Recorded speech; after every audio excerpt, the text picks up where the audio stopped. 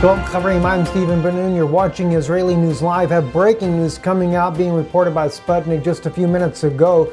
Russian warplanes repelled Daesh, uh, Daesh offensive, that's ISIS, in Deir ez-Zor, eliminating 180 terrorists, including top uh, two top commanders. Now, what's really odd about this story is when this happened. It just doesn't didn't happen today or yesterday. According to the article here, Russia warplanes repelled Daesh attack in Deir ez-Zor, eliminating 180 terrorists. States here that this happened. Uh, uh the operation was between June 6th and the 8th. Uh, moreover, the Russian Aerospace Forces also destroyed 16 units of terrorist, automotive, and armored vehicles and ammunition depot during the air raids. As a result of the preemptive airstrikes of the Russian Aerospace Forces, June 6th through the 8th, Daesh field commanders were eliminated. Moreover, 180 militants were eliminated as well. And of course, the autos, automobiles and uh, different uh, armaments that they had were destroyed, according to uh, Sputnik News. But what here's what's really odd about the entire thing. It's because on Twitter here, as we reported to you originally, this was uh, of course, there's been several different groups that have already reported this. It was around that same time when the U.S. struck the pro Syrian regime forces coming near Al Tanf. As we can see here, uh, on this particular video footage that was first shared uh, uh, about the, one of the U.S. strikes on the pro-Syrian government forces. Now that happened on multiple occasions already, three that we're aware of thus far, and also we found out that it wasn't long after that that the uh, Syrian forces too had also, in fact I believe that was on the 9th of June, uh, when the Syrian forces actually reached uh, Al excuse me, the uh, Jordanian-Iraqi border. That's right here, June the 9th. When there was a celebration, the generals were talking about here, uh, Russian generals that is, were speaking about how that the Syrian military had made it to the Jordanian border, albeit because Russia was stopping the advance of ISIS. I think it was more a show of force. The United States knows exactly what's going on inside of Syria, and when they saw that Russia intervened and stopped the ISIS advancement and allowed the Syrian forces to reach the border of Iraq, something that, according to the Russian officials, U.S coalition forces were trying to stop the Syrians from gaining control of the Iraqi uh, border crossing there because the fact it goes straight to Baghdad. They do not want the Iraqis and Syrians to be able to align with one another. But seem to go just the opposite way. But we do have breaking news, though, that is just coming out as well. I 24 News International is reporting that four U.S. soldiers were killed by an Afghan soldier in an apparent inside attack. Unfortunately, to hear this, for the sake of our American uh, friends, and uh, of course, being an American myself, to know that uh, American soldiers have died in Afghanistan. This is not the only time this has ever happened, but they are reporting here it was a second insider attack in a week, occurring just as Trump debates over the deploying of more troops. At least four American soldiers were shot and killed by an allied Afghan commando at a base in northern Afghanistan on Saturday. Military officials said to Reuters an Afghan soldier shot and killed four American troops inside the base, said Abu, uh, excuse me, Abdul Qahar Aram, spokesman for the Afghan army.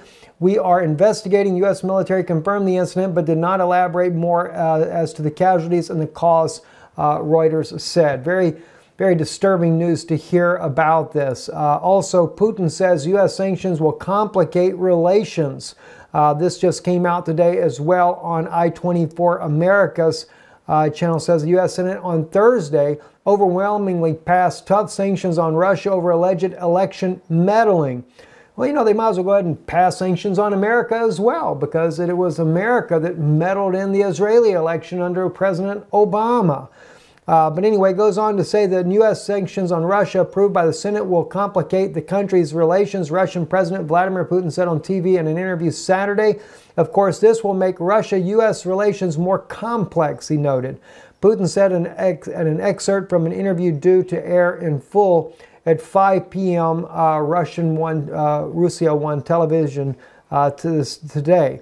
I think it is harmful, the Kremlin strongman, strongman said, while adding that it is premature to talk now about any response.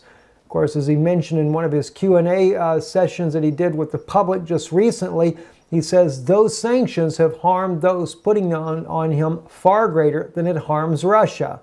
He mentioned how it was 50 to 52 billion dollars that has cost Russia, whereas those placing the sanctions has cost them over 100 billion dollars for doing exactly the same.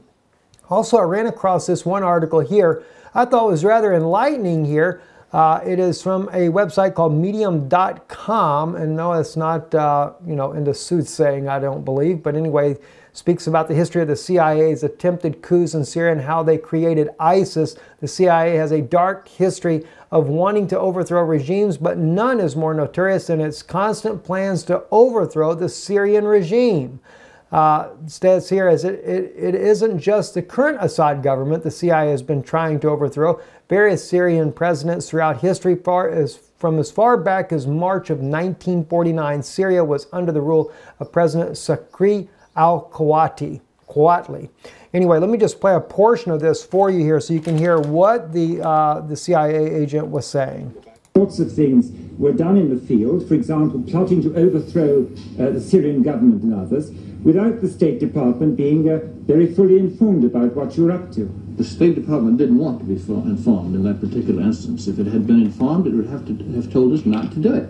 And therefore, you didn't inform it?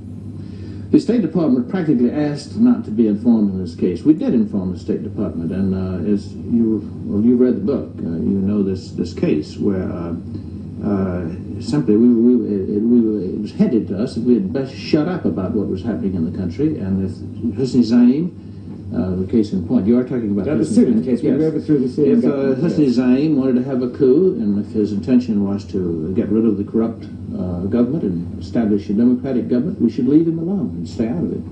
And that was the State Department policy. But in fact, you very largely organized, directed, only you personally, but you're among the team who did it, organized and directed this coup. Exactly. Yes. And then when Secretary Dulles was in office, uh, you say that he was taking the high road, but the working levels at the State Department and the Pentagon will advance down the low road. That is a totally different policy. Uh, carrying on subsidiary policies almost totally inconsistent with the secretaries. Did you think that's a, a, useful way of conducting a foreign policy? Keith, uh, I'm not going to make a moral judgment about this. You're asking me the way things are done, and that's what my book is about. My book is not uh, complaining. My book is not a great outcry about how things are done wrong or right with the American government. I'm simply describing the way things are done. It is true. Now, let me finish.